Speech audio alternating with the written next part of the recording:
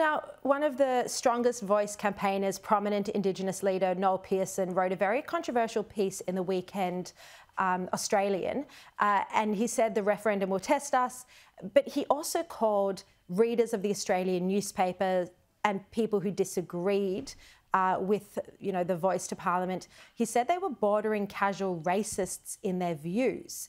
Um, do you think the voice campaign and, and this is as I said, a prominent Indigenous leader, you know, calling readers casual racists. Do you think the Voice campaign is becoming overly emotional, less rational?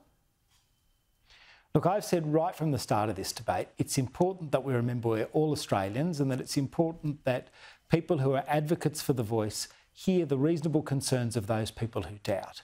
Just as it is important that people who are opponents of the voice hear the concerns of Indigenous Australians and others that think that this could make a difference. Mm. I think we need to have a civil and respectful debate, uh, and that's certainly the way I'm conducting myself, and I hope other Australians will be conducting themselves too.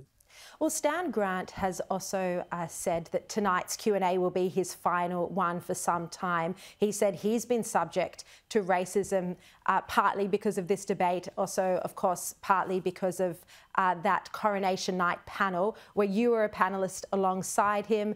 Um, what do you think of his comments? Uh, do you think perhaps ABC directors, this is a programming mistake, that they shouldn't have had that sort of panel on the coronation night and, and that that has caused this backlash?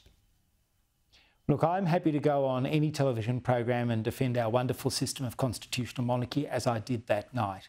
But I think the program panel was a little unbalanced. I mean, I think there was uh, effectively four people arguing um, against the system that we have, and I was the only person arguing uh, in favour of the system that we have. And that doesn't make for a fair and balanced panel because, you know, it means effectively you get, you know, a, a quarter or a fifth of the time to one side and all the rest to the other. And, and that's not, uh, not balanced. But I said that night, because mm. I started to see some of the online hatred that Stan was facing, uh, that while I disagree with Stan's views on this, I absolutely deplore the racism that he has had to, had to face as a result, not just of that panel, but over a long period of time uh, as, a, as a public figure, as a prominent Indigenous public figure. I don't think there's any, any space for that sort of conduct in our country.